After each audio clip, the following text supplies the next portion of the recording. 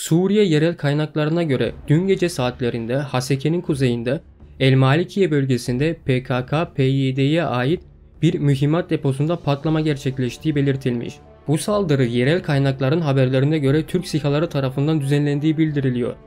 Diğer haberimizde ise Türk topçular Rakka'nın kuzey kırsalındaki El Kantari köyünde PKK-PYD'ye ait noktaları vurduğu ve saldırıda iki teröristin öldüğünü, ölenler arasında birinin Irak uyruklu Ayn İsa temas hatları bölgesine mayın yerleştirme sorumlusu olduğu bildiriliyor. Peyama Kurd'un bir haberine göre ise YPG'nin komutanı olan Mazlum Kobani, PKK tarafından görevden alındığını, Kobani'nin yerine terörist Cemil Bayak'a yakın bir isim olan Mahmud Reş'in göreve getirildiği aktarılıyor. Haber 7'nin haberine göre ise Irak Kürt bölgesel yönetimine yakın Bas News'a konuşan bir kaynak, PYD'lilerin Rusya aracılığıyla Esed'le bir anlaşma kağıdı gönderdiğini, Esed, PYD ittifakını içeren anlaşmaya bölücü terör örgütü PKK'nın da onay verdiği bildirilmiş.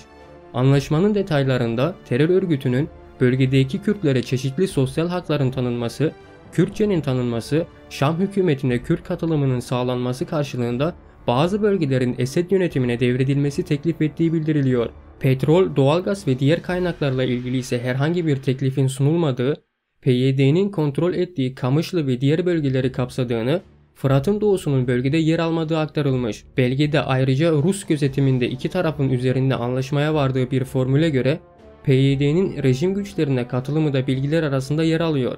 Diğer yandan ise ABD'nin Kamışlı kentine PKK-YPG'ye yönelik 50 tır lojistik malzeme yardımında bulunduğu belirtiliyor.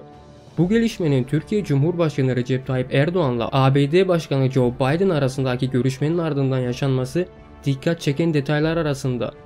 Diğer bir haberde ise Suriye İnsan Hakları Gözlemevi kaynakları Rojava'da Rusya'nın Halep'in kuzeyinde YPG'nin kontrol altında bulunan bölgeye yakın bir mesafede tatbikat yaptığı duyuruldu. Tatbikatta gerçek mühimmatların kullanıldığı bir savaş uçağı ve iki saldırı helikopterlerinin katıldığı belirtiliyor.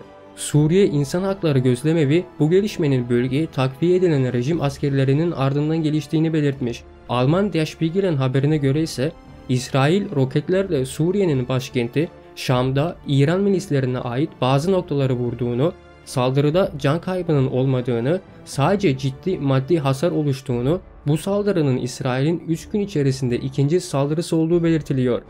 Evet arkadaşlar şimdilik bu kadar. Başka bir videoda görüşmek üzere. Videomuzu beğenip düşüncelerinizi yorumlarda belirtebilirsiniz.